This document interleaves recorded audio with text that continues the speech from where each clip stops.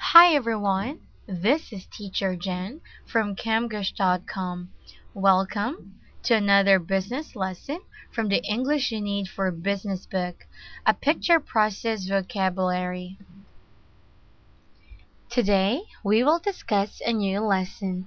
And here on Unit 18, we'll talk about using a laptop computer. Now, here in this lesson, we will discuss the most commonly used words when using a laptop computer. Let's begin with our verbs. I will read these words one by one, slowly and clearly, and I want you to listen and follow me. Okay? Let's begin. Check click, connect, flip up, fold up, get, light up, move, open, plug in, press, roll, take, turn off, turn on, use, work. Very good, students. Now, let's go on to nouns. Again, please follow me. AC adapter, battery, case, computer, cursor, email, icon, inlet, key, keyboard, laptop, modem port, part, phone cord, phone jack, phone line connection, plug, power cord, power switch, program, screen, serial port, strap, switch, trackball, word processing. Very good, students. And now let's read this. Others. This is adverbial and adjective. For a while and low. Thank you so much for listening to me. Now, I want you to practice and memorize the correct pronunciation of all these words. To do that, you can pause this video for a while and practice reading these words a number of times. When you are done, you can press play so that we can continue on our lesson. Now, I chose some words and made sample sentences.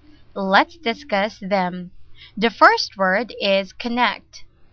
I cannot connect to the Wi-Fi in this building. Plug in. I need to plug in the machine first before we can use it.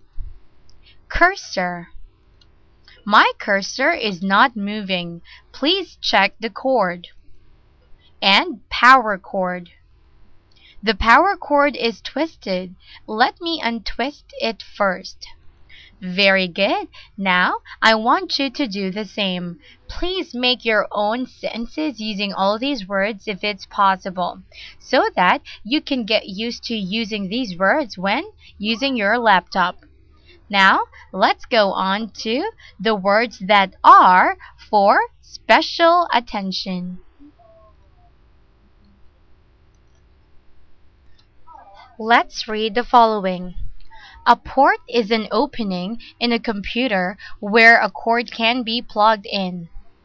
I inserted the USB device into the port. If you check email, you look quickly at it to see what's there. I have to check my email first before doing anything else in the office. A trackball is like a mouse but it is round and usually part of a laptop. My trackball is not functioning properly anymore. A low battery is almost without power. My laptop has low battery. We should charge it first. AC is a kind of electricity that comes from a wall outlet. Be careful with the AC. Get low become low.